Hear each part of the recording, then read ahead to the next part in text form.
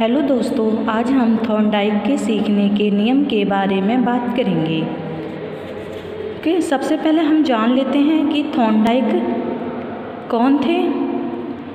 Thorndike जो हैं, उन्होंने एस आर बंधनों का अध्ययन किया और सीखने के कुछ नियमों का प्रतिपादन किया। थॉर्नडाइक का प्रथम श्रेय स्पष्ट रूप से नियमों की रचना का है। इन्हें हम सब सीखने के मुख्य नियम कहते हैं। सीखने के जिन नियमों की रचना पहले की गई थी, वे तीन थे। पहला था तत्परता, अभ्यास और परिणाम नियम।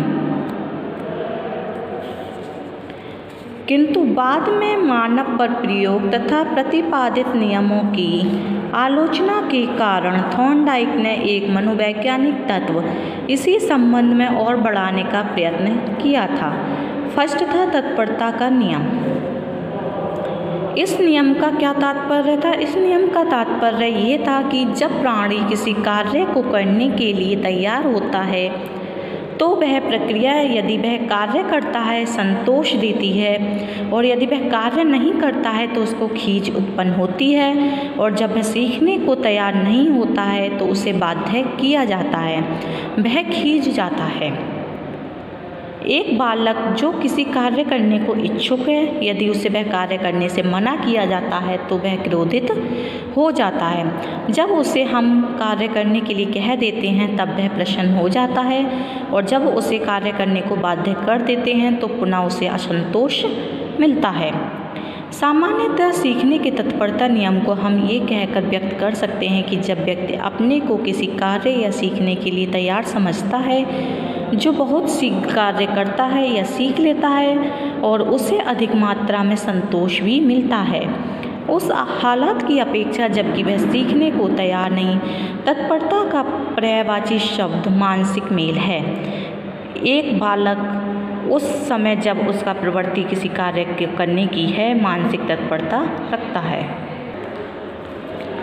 किसी समस्या के संबंध में तत्परता या मानसिक मेल उसको हल करने की इच्छा के समान हैं। अध्यापक का प्रमुख कर्तव्य है कि वह अपने बालकों में पाठ याद करने की तत्परता का विकास करे। एक अध्यापक जो कार्य कुशल है, बालकों को हल करने के लिए आनंद देने वाला प्रश्न देता है। उसके एक अध्यापक उसके प्रश्न बालकों के अंदर जिज्ञासा की भावना उत्पन्न करते हैं। इस प्रकार वह उनके अंदर कार्य के लिए प्रति अनुकूल मानसिक मेल उत्पन्न करता है। मानसिक तत्परता मेल या बालकों में रुचि बहुत बड़ी मात्रा में योजना अवधि और शिक्षण की दूसरी नवीन विधियों द्वारा उत्पन्न की जा सकती है। साधारण रूप से इन विधियों में शिक्षक कोई विषय अलग से पढ़ाने को नहीं लेता, किंतु सीखने के लिए ऐसी अवस्था उत्पन्न कर देता है कि वह जिस विषय को पढ़ाना चाहता है, उसे योजना के पूर्ण होने पर बालक स्वयं सीख जाता है। उदाहरण के लिए ताजमहल पर योजना इस प्रकार आरंभ होगी कि उस यादगार को देखा जाए, सर्वप्रथम बालक क्या है सीखेंगे? कि यात्रा की तैयारी कैसे होती है? और ताजमहल से संबंधित इतिहास को भी सीखेंगे। सुंदर वस्तु की सराहना करने की संभावना भी उत्पन्न होगी और महल बनाने की विद्या के बारे में ज्ञानोपार्जन करेंगे। यहाँ पर मुख्य विचार ये है कि जब हम मानसिक मेल को एक विशेष समस्या की ओर लगा देते हैं तो विषय में रुचि का विकास हो जाता है और बालकों को अधिक संतोष भी मिलता है और वह अधिक सीखता है। यानी कि जब बच्चा कोई भी सीख, चीज़ सीखने के लिए तत्पर होगा तो वो जल्दी सीख लेगा। नेक्स्ट है, अभ्यास का नियम या उपयोग अनुप्रयोग का नियम। उपयोग का नियम, जब किसी स्थिति और प्रतिक्रिया में परिवर्तनात्मक संबंध बना दिया जाए और यदि अन्य वस्तुओं को समान रूप से वैसे ही रखा जाए तो इस संबंध की शक्ति बढ़ जाती है।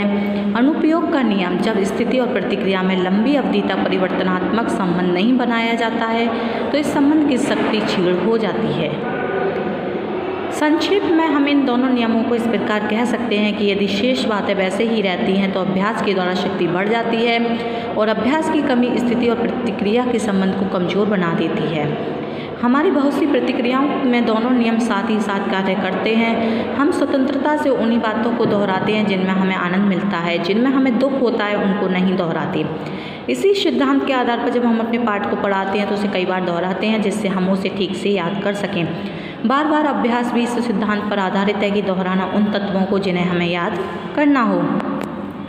हमारे सम्मुख दृढ़ करता है अभ्यास की कमी यदि किए हुए विषय की स्मृति को कमज़ोर बना देती है, यानी कि हम अभ्यास नहीं करेंगे तो जो हमने याद किया है वो भी हम भूल जाएँगे। और साधारण रूप से अभ्यास का समय जितना अधिक होगा, उतनी ही अधिक हानि होगी। मानवीय मस्तिष्क उन वस्तुओं को धारण कर लेता है जिन्हें वह बराबर में प्रयोग करता है। वे शब्द जिन्हें हम बहुधा लिखते हैं, बहुत ही कम अवस्थाओं में गलत होते हैं और हम उन शब्दों के अर्थों को भूलते भी नहीं हैं जिन्हें हम अपने लिखने और वार्तालाप में प्रयोग करते हैं। हम उपयोग से सीखते हैं और धारण करते हैं तथा अनुप्रयोग से भूल जाते हैं। उपयोग अनुप्रयोग का मनोविज्ञान, जो सीखने के अभ्यास के सिद्धांत के दो रूप है, सीखने तथा भूलने का समान अंतर चलता है। हम उपयोग अथवा अभ्यास से सीखते हैं और धारण करते हैं, तथा अनुपयोग या अभ्यास को भूलते हैं, और जिसका हम अभ्यास नहीं करते, वह बिना सीखा हुआ ही रहता है। साधारणतः सीखना अभ्यास को मात्रा के अनुपातिक योग में नहीं होता है। कुछ दृष्टांतों में, जैसे गाने के अभ्यास में या कविता को याद करने में कम अभ्यास, अधिक रुचि के साथ अधिक सीखने में सहायक होता है। इससे प्रमाणित होता है कि दोहराना ही केवल सीखने में कुशाग्रता नहीं उत्पन्न करता। दूसरे तत्व भी मुख्य रूप से संवेगात्मक तत्व सीखने पर बहुत प्रभाव डालते हैं। अतः अभ्यास का नियम मात्रा के रूप या आंतरिक रूप से लागू नहीं किया जा सकता। नेक्स्ट है, जब दोहराने के साथ रुचि और प्रयोजन संबंधित होते हैं तभी अधिक वो उत्पादक होता है। दोहराने के साथ रुचि उत्तेजक अर्थ संहिता होनी चाहिए, जिससे तत्वों तथा विचारों को बढ़ाया जा सके। नेक्स्ट है परिणाम अथवा प्रभाव का नियम, यानी प्रभाव के नियम को परिणाम का नियम भी कहा जाता है। इस नियम में बताया गया है कि जब सुखप्रद या संतोषप्रद परिणाम किसी प्रतिक्रिया के फलस्वरूप उत्पन्न होते हैं तो हम प्रतिक्रिया दोहराते हैं। इसी प्रकार जब कोई क्रोध उत्पन्न करने वाला या कष्टदायी परिणाम होता है, तब हम उसे नहीं दोहराते। यानी कि जिस चीज़ को करने से हमें संतुष्टि मिलती है और जिससे हमारा कोई परिणाम मिलता है, वो परिणामात्मक प्रभाव का नियम कहलाता है। संतोषप्रद परिणाम शक्तिवर्धक होते हैं और कष्टदायी स्थिति, प्रतिक्रिया के बंधन को निर्बल बना देते हैं। थॉर्नडाइक के अनुसार ये नियम सीखने और शिक्षण का आधारभूत नियम है। इस सिद्धांत में संवेगात्मक भावना या संवेगात्मक स्थिति सीखने के अनुभव में सम्मिलित रहती है। जब बालक अभ्यास करते हुए किसी प्रश्न को हल कर लेता है, तब उसे संतोष मिलता है और परिणामता स्थिति और प्रतिक्रिया के संबंध शक्तिवर्धक हो जाते हैं। यदि उत्तर त्रुटिपूर्ण होता है तो इससे संबंधित क्रोध की भावना जागृत हो जाती है और वह प्रतिक्रिया छोड़ दी जाती है। हाँ ये हो सकता है कि अनुभव अत्यधिक कष्टदायी या पीड़ाजनक हो। उस समय ये घटना या त्रुटि हमारी स्मृति में स्थायी हो जाती है। अधिकतर सही प्रत्युत्तर के संबंध दोहराए जाते हैं और त्रुटिपूर्ण छोड़ दिए जाते हैं और हम उन अपने से बिलक कर देते हैं। संतोष की भावना ही एक प्रतिक्रिया को दृढ़ करती है और जबकि असंतोष की भावना उसे क्या कर देती है? छीड़ कर देती है। सफलता और विफलता व्यक्ति को एक विस्तृत सीमा तक नियंत्रित करती है।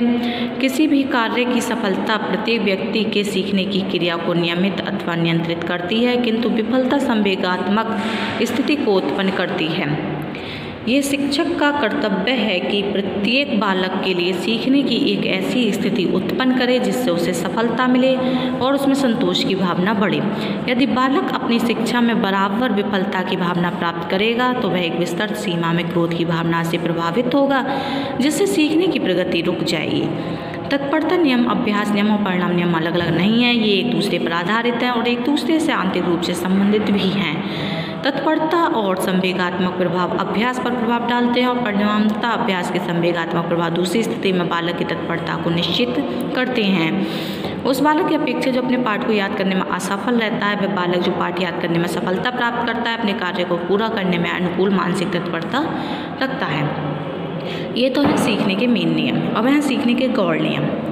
सीखने के उपयुक्त तीन मुख्य नियमों के अतिरिक्त पाँच गौण नियम भी हैं, जो मुख्य नियमों को विस्तार देते हैं, वे इस प्रकार हैं। ये क्वेश्चन आपके TET C TET U P TET सब में आता है कि सीखने के कितने मुख्य नियम हैं और कितने गौण नियम हैं। मुख्य नियम में तीन हैं आपके, और गौण नियम आपके पाँच हैं। बहुप्रतिक्रिया का नियम, मानसिक विन्यास का नियम, अपूर्ण क्रिया का नियम सादृशीकरण का नियम, साहचर्य परिवर्तन का नियम। सबसे पहले है बहु प्रतिक्रिया का नियम। ये सिद्धांत इस बात पर बल देता है कि अनेक प्रयासों के पश्चात प्राणी एक संतोषजनक प्रतिक्रिया पर आ जाता है। इस सिद्धांत का शिक्षा में महत्व ये है कि विद्यार्थियों को विस्तृत अनुभव दिए जाएँ। विद्यार्थियों को स्वयं प्रयोग करके अपनी त्रुटियों से सीखने के लिए अवसर देने चाहिए। नेक्स्ट है मानसिक विन्यास का नियम। ये सिद्धांत इस बात पर बल देता है कि बाह्य स्थिति की ओर प्रतिक्रिया सीखने वाले की दशा पर निर्भर करती है। यहाँ मानसिक विन्यास से तात्पर्य सीखने वाले की अभिवृद्धि से है। यदि एक बालक अध्ययन के लिए तैयार नहीं है तो पढ़ने की ओर ध्यान नहीं लगाएगा। नेक्स्ट अपूर्ण क्रिया का नियम एक प्रतिक्रिया संपूर्ण स्थिति के प्रति नहीं होती है तो संपूर्ण कुछ पक्षों अथवा भागों के प्रति होती है। जब केवल एक स्थिति, एक भाग ही दोहराया जाता है तो प्रतिक्रिया हो जाती है। उदाहरण के लिए एक बालक माता से प्रतिक्रिया करता है, चाहे वह रात्रि की पोशाक में हो, चाहे दिन के कपड़ों में, या माता पूर्ण स्थिति का एक भाग है। पूर्ण स्थिति उसके कपड़े इत्यादि सबको सम्मिलित करती है। अपूर्ण स्थिति में एक प्रतिक्रिया सीखने में मितव्यता लाती है। यदि एक बालक सीखता है तो तीन गुणा पाँच बराबर पंद्रह, जब किसी स्थिति में वह तीन गुणा पाँच पाएगा तो वह तुरंत प्रतिक्रिया करेगा कि पंद्रह कि वह पंद्रह के बराबर है। नेक्स्ट है सादृश्यकरण का नियम। जब एक व्यक्ति एक नई स्थिति का सामना करता है, जिसकी तरफ़ उसके पास कोई प्राकृतिक सीखी हुई प्रतिक्रिया नहीं होती है तो जो वह प्रतिक्रिया करेगा वह उसी प्रकार की स्थिति में पहले कभी की गई प्रतिक्रिया की भांति होगी। इससे तात्पर्य है कि नई स्थिति उसी प्रकार की प्रतिक्रिया को उभारती है और जो उसी प्रकार की स्थिति में बदले पहले की गई हो। शिक्षा में ये सिद्धांत इस प्राथयोक्ति को बल देता है कि ज्ञात से अज्ञात की ओर। ओके, सादृश्यकरण में क्या होता है? ज्ञात से अज्ञात की ओर शिक्षण देना चाहिए। शिक्षक को बालक को विस्तृत अनुभव देना चाहिए ताकि वह नई स्थिति में सही प्रत्युत्तर अपना सके। नेक्स्ट है साहचर्य परिवर्तन का नियम। इससे तात्पर्य कोई भी प्रतिक्रिया जो एक सीखने वाले की करने योग्य है, किसी भी ऐसे उत्तेजक से संबंधित की जा सकती है, जिसके प्रति वह संवेदनशील है। वास्तव में वह नियम अनुबंधन के सिद्धांत का औपचारिक कथन है। ये नियम इस बात की व्याख्या करता है कि क्यों अक्षर T A V L E एक निश्चित वस्तु का संकेत देते हैं। व्यक्ति ये सीखता है, जब अक्षरों को इस क्रम में रखा जाता है तो वे एक वस्तु का संकेत देते हैं। जब भी ये टेबल सबसे परिचित होता है, तुरंत उसके मस्तिष्क में इस शब्द द्वारा सांकेतिक वस्तु आ जाती है ओके हमारे चैनल को लाइक और सब्सक्राइब करें। धन्यवाद।